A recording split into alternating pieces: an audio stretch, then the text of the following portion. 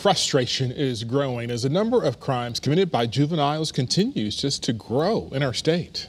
Governor Ned Lamont announced plans to make changes to the juvenile criminal justice system.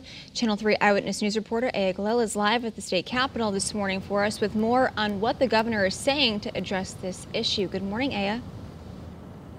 Good morning, Caitlin and Wendell. And the governor did acknowledge that risk and mayhem is going on right now in the state of Connecticut. And so he is looking to fill more judge positions on the bench, hoping that'll help with the issue. He's also looking to extend the time that juveniles are detained, but some are questioning why these decisions took so long.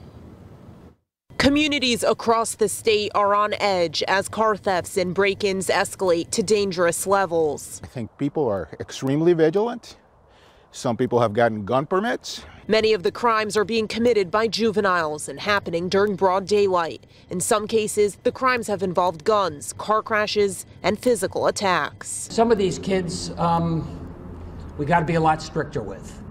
Uh, it's probably, you know, 10% of these folks are creating 90% of the problem. Governor Lamont says the lack of judges is slowing down our courts. There's already a backlog of cases from when the courts were shut down during COVID. The governor is also looking to detain criminals longer by making sure judges know the suspect's full history when asked to sign a detention order.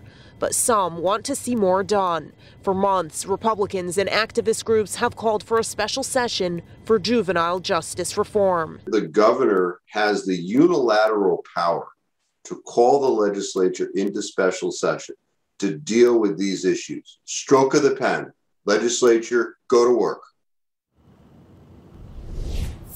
And Republicans say that it is sad that it took the governor months to address the seriousness of this issue. Now, in the next week, there should be a handful of new judge positions appointed. Reporting live this morning at the state capitol, Galil, Channel 3 Eyewitness News.